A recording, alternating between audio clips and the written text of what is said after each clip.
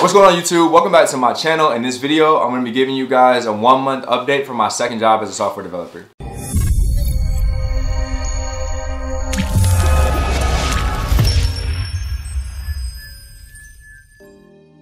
If you guys are new to the channel, make sure you guys like, share, and subscribe. It really helps me stay motivated to put out this content for you guys. Also, make sure you hit that bell notification. Anytime I upload a video, you guys will get notified right away. So make sure you do that as well. In this video, I just wanted to go over my experience in this this new job, my second job as a professional software developer um, in one year. So I had all last year, I worked at my first developer job, my first professional developer job out of boot camp.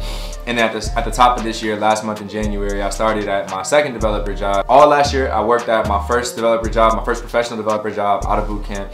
And at the, at the top of this year, last month in January, I started at my second developer job. Not to say that what I'm gonna tell you guys is 100% across the board everywhere in the world, but at least in my experience, you guys will hear my experience at a big company as a software developer and now at a really small company as a software developer. Where I'm at now, I feel like, you know, I'm learning a lot of cloud development. Actually, all we do is serverless programming and cloud development. So there's, there's no servers at all. And that is really cool in the sense that I'm learning all new stuff. Um, there's a lot of new tools that I have to learn just to get up to speed. And I think that's great because whereas before, I felt like I, I was kind of learning how to survive in in the technical wild that was the environment there. Whereas here, I feel like I'm, I'm kind of like free to roam the like open plains and go learn new things. I really appreciate that. A lot of my onboarding has been um, really just learning a lot of like Azure, um, a lot of Azure cloud stuff because that's what a lot of my team stuff uses. So that's been really great. And um, like I said, I know I'm just scratching the surface. There's a lot more things I still have to get into. Um, I know Redis is gonna be something I'm, I'm, getting into pretty soon here coming up, but right now I'm focused on like cloud-based stuff, Azure Cloud, Azure Functions, Cosmos DB, things like that, which are all things that weren't even in the ecosystem at the last place where I came from. So I feel like I'm grateful that I'm in a position where I can go to work every day, but also I'm getting better for the future as well. So that's one big difference that I noticed at the new job. The second thing is culture. So it's a very small company. Um, like I said, if we're all in the building, it might be about 25 people, but usually we're not all there at once because there's always either someone taking a day off or working from home. So,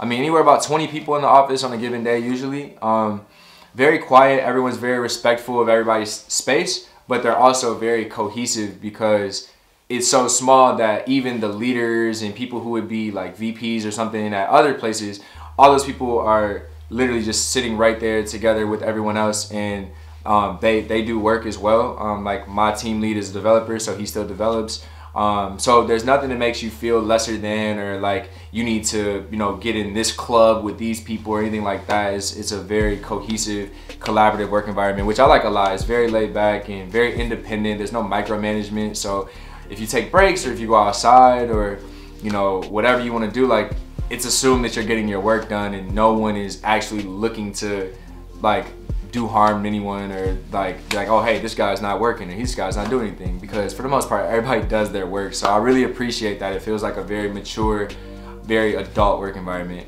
Um, so I, I, I, really appreciate it. that's the, the second thing I would say is a big difference is the the culture at this company. The third thing is the work-life balance.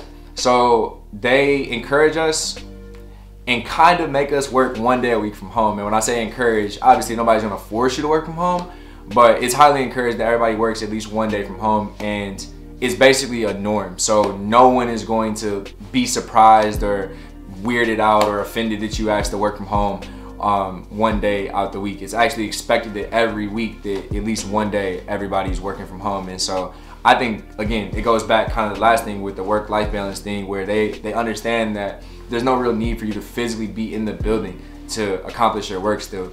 And they don't want you burning through your PTO time and doing all these different things just so that you can go do regular life stuff like go to a dentist appointment or something like that. So they have work from home in place where literally, hey, if something happens with life, if you have to go get an oil change or something happens with your kids or whatever, you always know that in your in your back pocket every week you've got one day to work from home that you can use at any time and no one's gonna question you, no one's gonna argue. Like it's completely fine. It's actually encouraged. It's actually expected.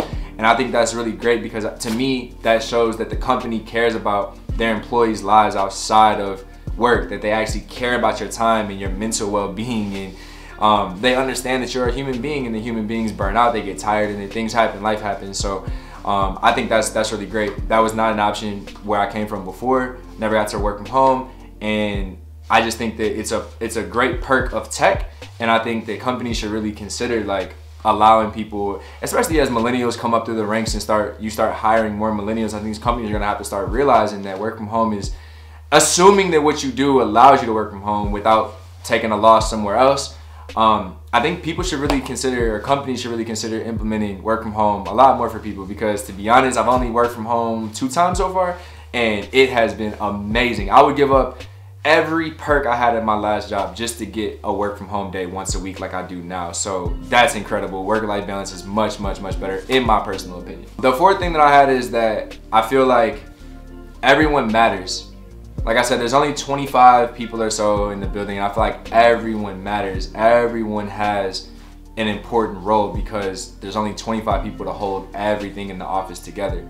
But what I like about that is everyone clearly knows their role. Everybody knows like what they're good at, why they're there, and it's it's awesome. You know who the experts are in certain things, and everyone it allows everyone to kind of again work cohesively where everybody can kind of share their strengths and weaknesses with each other um, and still work as a unit. You don't have any dead weight to spare. There's there's no room for any anyone to to not be able to hold their own in their in their role because there's no one there to just pick up the slack or there's not a hundred other people that do your role that can be better than you or that can basically cover up your mistakes or anything like that.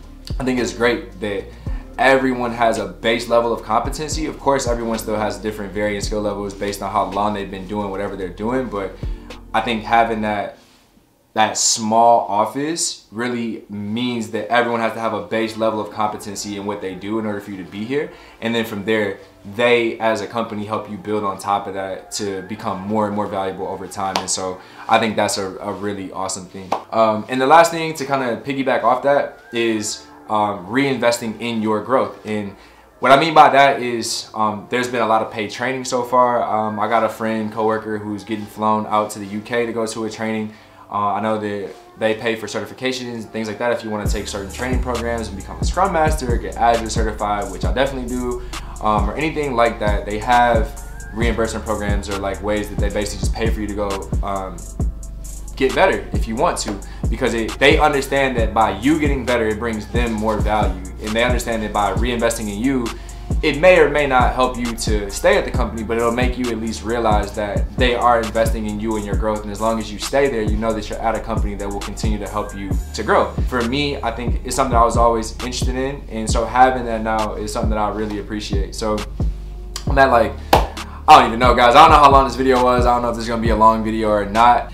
So yeah, guys, that's pretty much it for this video. Uh, I hope it was helpful. If you guys have any questions about anything or something I didn't discuss, make sure you leave it in the comment section down below. I'll get back to you guys on that. And if you guys are brand new to software development or thinking about transitioning into code or going to a coding bootcamp, make sure you guys check out my description box for my free Intro to Coding Bootcamp course where you guys are gonna learn everything from front end stuff all the way through like the beginning and intro to back end stuff. Um, stuff that I wish I knew going into coding bootcamp. I put it all in this course basically. DerienTheDev.Thinkific.com is where the course is at. Completely free, just costs your email address. So make sure you guys go check that out. But yeah, guys, I hope this video was helpful. Let me know, leave me a like, share, subscribe, and uh, I'll see you guys next video. All right, this is Derien with Derien the Dev. Peace.